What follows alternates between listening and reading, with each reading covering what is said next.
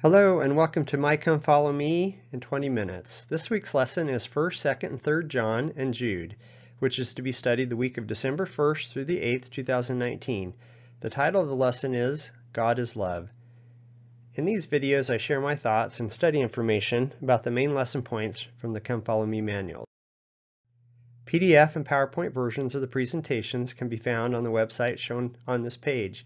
I've had some folks email me that they were having trouble downloading the PDFs or PowerPoints.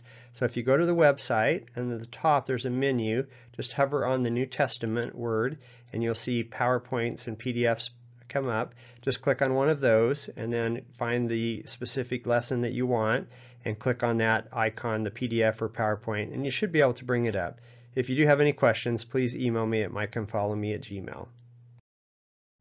I prepared this lesson during the Thanksgiving week, and there's someone I follow on Instagram called Mazer Art. I think that's how you say it. They post some really great quotes, and they had some this last week about being thankful and expressing gratitude. The first one is by Elder Bednar, and it says, Let me recommend that periodically you and I offer a prayer in which we only give thanks and express gratitude. Ask for nothing. Simply let our souls rejoice and strive to communicate appreciation with all the energy of our hearts. I do that periodically. It's good to do. We almost always want to ask Heavenly Father for something, but it's a really good practice to do what Elder Bednar says. The next one is by Elder Cook. He says, if we truly want to have the Spirit of the Lord and experience joy and happiness, we should rejoice in our blessings and be grateful. And then Elder Uchtdorf says, we sometimes think that being grateful is what we do after our problems are solved, but how terribly short-sighted that is. How much of our life do we miss by waiting to see the rainbow before thanking God that there is rain? That's a great quote for sure. The church made a short video called Shower of Heavenly Blessings from Elder Uchtdorf's talk, which you can find on YouTube or the church's website. It's about three and a half minutes and well worth the watch. Okay, let's get started with the lesson. Here's some background. The Apostle John, whose brother was James, and both served in the ancient first presidency with Peter. In John's early life, he was a fisherman in fairly comfortable circumstances. In the latter days, Peter, with James and John, came from heaven and literally conferred the Melchizedek priesthood and the keys thereof upon Joseph Smith and Oliver Cowdery. John also wrote Revelation, our final two lessons of the year. The Apostle Jude has been traditionally understood to be the half-brother of Jesus Christ. Jude was evidently a church member of high esteem in Jerusalem, and he may have traveled as a missionary. There is no indication of what priesthood office Jude held, but the Epistle of Jude itself suggests that he had a position of authority that qualified him to write letters of counsel. John and Jude wrote their epistles at a time when apostasy was threatening the church. Even though it had been only a few decades since the death of Jesus Christ, false teachers were teaching a doctrine different than the apostles had taught. Some claim that Jesus Christ had not come in the flesh. The epistles of John were probably written AD 70 to 100, perhaps in the last few years of the first century. So this was about 40 to 70 years after Christ had died and the members were falling into apostasy. I was comparing this to the Book of Mormon in 3rd and 4th Nephi after Christ visited the Americas. They were righteous for a much longer time period. A big difference I feel was the influence of Jewish, Greek, Roman, and other leaders, and that was not really the case in the Book of Mormon. Maybe that's part of the difference.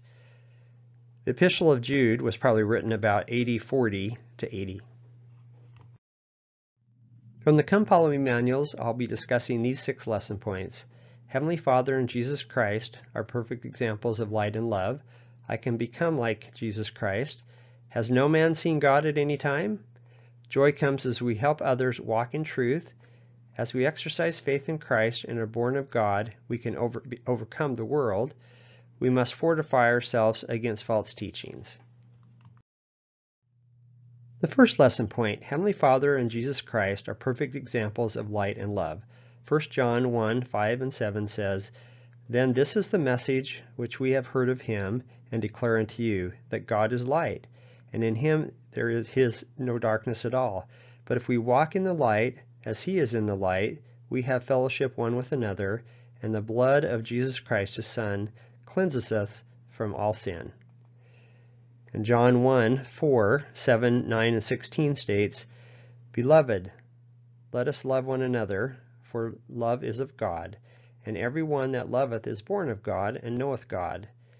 In this was manifested the love of God towards us, because that God sent his only begotten Son into the world, that we might live through him. And we have known and believed the love that God hath to us. God is love, and he that dwelleth in love dwelleth in God, and God in him. John mentions love a ton in these chapters, thus the title of the lesson. We have this picture in our home, and I love how Christ is inviting us to come into his light and his love. The concept in D&C 50:24 is an important one for us to learn in this life. It says, That which is of God is light, and he that receiveth light and continueth in God receiveth more light, and that light groweth brighter and brighter until the perfect day. Everyone on earth has the light of Christ in them. My dad had a saying, practice makes better. That is the same with the gospel and us receiving more and more light as we strive each and every day and practice the gospel. Moses 139 gives us Heavenly Father's whole purpose of his plan. For behold, this is my work and my glory, to bring to pass the immortality and eternal life of man. To me, that is the complete expression of his infinite love for us. The Come Follow Me manual has this great story from Elder Hales. He said, When I was a boy, I used to ride my bicycle home from basketball practice at night. I would connect a small pear-shaped generator to the, my bicycle tire. Then as I pedaled, the tire would turn a tiny rotor, which produced electricity and emitted a single welcome beam of light. It was a simple but effective mechanism, but I had to pedal to make it work. I learned quickly that if I stopped pedaling my bicycle, the light would go out. I also learned that when I was anxiously engaged in pedaling, the light would become brighter and the darkness in front of me would be dispelled. The generation of spiritual light comes from daily spiritual pedaling. It comes from praying, studying the scriptures, fasting and serving, from living the gospel and obeying the commandments. Here's a picture of a similar bike I had as a kid, a Schwinn Stingray. Oh, it was so fun. And I had the same kind of light on the front as Elder Hales mentioned. This concept of daily pedaling applies to all areas of our life. If we slow down or stop, we will regress. I certainly notice this in my life.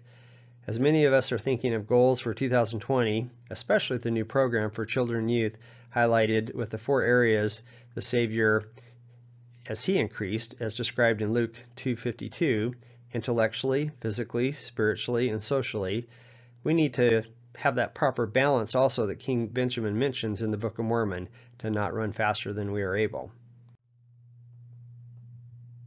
This page and the next page show the many references of love John used in these chapters. The heart by each verse shows the number of times love is mentioned in each verse. Lots and lots of love in these verses. It just all comes back to charity and love in the Gospel's plan. Lesson point number two, I can become like Jesus Christ. The Come Follow Me manual asks this question, does the goal of becoming Christ-like ever seem too lofty for you? Many days for me? Yes. Here are a few scriptures to help us feel that we have hope of attaining this lofty goal. 1 John 3 2 says, Beloved, now are we the sons of God, and it doth not yet appear what we shall be? But we know that, when he shall appear, we shall be like him, for we shall see him as he is.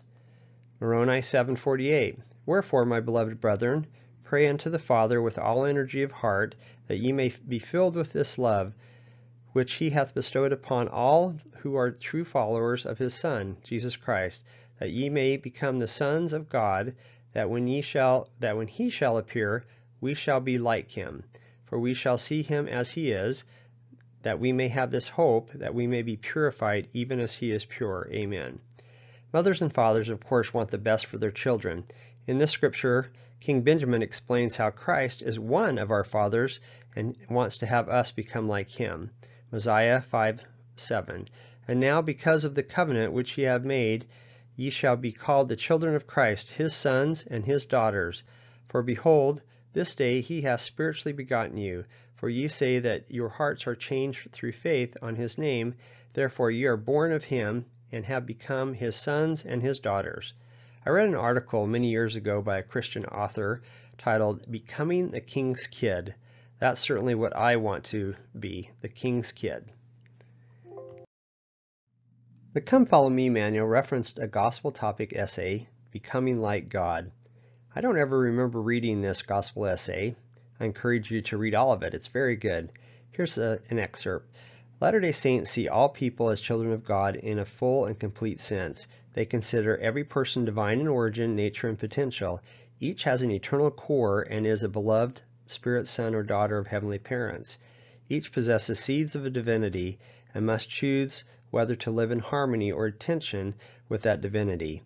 Through the atonement of Jesus Christ, all people may progress towards perfection and ultimately realize their divine destiny. Just as a child can develop the attributes of his or her parents over time, the divine nature that humans inherit can be developed and become like their Heavenly Fathers. The essay continues and discusses the King Follett discourse given by Joseph Smith. Since that sermon known as the King Follett Discourse, the doctrine that humans can progress to exaltation and godliness has been taught within the church. Lorenzo Snow, the church's fifth president, coined the well-known couplet, As man now is, God once was, as God now is, man may become. Little has been revealed about the first half of this couplet, and consequently little is taught. When asked about this topic, church president Gordon B. Hinckley told a reporter in 1997 that gets into some pretty deep theology we don't know very much about. When asked about the belief in humans' divine potential, President Hinckley responded, Well, as God is, man may become. We believe in eternal progression very strongly. As President Hinckley says, this is something we don't know very much about. I do have faith and hope that through my faith and obedience, and most importantly, coupled with the Savior's atonement, I can receive all the Father has. The third lesson point, has no man seen God at any time? 1 John 4:12 states, no man has seen God at any time. And then the Joseph Smith translation adds, except them who believe. I, of course, believe Joseph saw the Father and the Son in the sacred grove. The Come Follow Me manual adds this extra insight. In the middle it says, the scriptures record several instances when God the Father has manifested himself to faithful individuals, including John himself. Lesson point number four, joy comes as we help others walk in truth. 3 John 1, 1 through 4 says, The elder unto the well-beloved Gaius, whom I love in the truth. Beloved, I wished above all things that thou mayest prosper and be in health, even as thy soul prospereth. For I rejoice greatly, and when the brethren came and testified the truth that is in thee, even as thou walkest in the truth, I have no greater joy than to hear that my children walk in truth. This scripture in John reminds me of D&C 18, 15, and 16. And if it so be that you should labor all your days in crying repentance unto this people, and bring save it be one soul unto me, how great shall be your joy with him in the kingdom of my Father? And now, if your joy will be great with one soul that you have brought unto me in the kingdom of my Father, how great will be your joy if you should bring many souls unto me? This is one of the main reasons we are here on earth, to bring the joy of the gospel to others. Lesson point number five, as we exercise faith in Christ and are born of God, we can overcome the world. 1 John 5, 3 through 5. For this is the love of God, that we keep his commandments, and his commandments are not grievous. I love the editorial comment from John right there. For whosoever is born of God overcometh the world, and this is the victory that overcometh the world, even our faith. Who is he that overcometh the world? But he that believeth that Jesus, that Jesus is the Son of God. This is the battle we wage every day. Elder Anderson gave a great talk titled Overcoming the World. He said, Overcoming the world is not one defining moment in a lifetime, but a lifetime of moments that define an eternity. I really like that. The four points he emphasized were love of the Savior, accountability to God, unselfishness, and safety in the prophets. The final lesson point, we must fortify ourselves against false teachings. The seminary manual says John and Jude live in a time when many people were apostatizing and leaving the church. At that time, there were various false philosophies. One of them was called Docetism. The term Docetism comes from the word, the Greek word dokio, meaning to seem or appear. 1 John 2:18 Little children, it is the last time, and as ye have heard that Antichrist, meaning false teachers, shall come, Even now there are many antichrists whereby we know that, that is, this is the last time. Jude 1.10 But these speak evil of those things which they know not, but what they know naturally as brute beast, in those things they corrupt themselves. In these next verses, Jude 1, 12 and 13, Jude uses very descriptive imagery to describe the apostasy and false teachers. He writes, These are spots in your feast of charity, when they feast with you, feeding themselves without fear. Clouds they are without water, carried about of winds, trees whose fruit withereth, without fruit, twice dead, plucked up by the roots, raging waves of the sea, foaming out their own shame, wandering stars, to whom is reserved the blackness of darkness forever. In Jude 1, verses 8 through 19, Jude describes the characteristics of false teachers. Here's a list of them. As you look at them, you certainly see it's not too much different than our day than it was back in the Middle Times when Jude and John were writing their epistles. Throughout history, there have always been wolves in sheep's clothing. Elder Oaks said the power of discernment is essential if we are to distinguish between genuine spiritual gifts and the counterfeits Satan uses to deceive men and women and thwart the work of God. The prophet Joseph Smith said, Nothing is a greater injury to the children of men than to be under the influence of a false spirit when they think they have the Spirit of God. And Elder Ballard taught, Today we warn you that there are false prophets and false teachers arising, and if we are not careful, even those who are among the faithful members of the Church of Jesus Christ of Latter day Saints will fall victim to their deception. I'm sure some of you watching have family members or friends who have left the church because of various reasons. Some may because of church history, others because of same-sex marriage or other reasons. I have some close to me that have chosen that different path, and it's challenging and heartbreaking for sure. Some of you probably know of the book The CES Letter, which came out a few years ago, where the author goes through points which led him to doubt and then to leave the church. I've read it and a few of the rebuttals, which I've snipped from a Google search that you see on your screen. Soon after the book came out, President Uchtdorf gave a conference talk and discussed some of these items. He said, The search for truth has led millions of people to the Church of Jesus Christ of Latter-day Saints. However, there are some who leave the church they once loved. One might ask, if the gospel's so wonderful, why would anyone leave? Sometimes we assume it's because they have been offended or lazy or sinful. Actually, it's not that simple. In fact, there is not just one reason that applies to the variety of situations. Some of our dear members struggle for years with the question whether they should separate themselves from the church. In this church that honors personal agency so strongly, that was restored by a young man who asked questions and sought answers, we respect those who honestly search for truth. It may break our hearts when their journey takes them away from the church we love and the truth we have found, but we honor their right to worship Almighty God according to the dictates of their own conscience just as we claim that privilege for ourselves. Some struggle with unanswered questions about things that have been done or said in the past.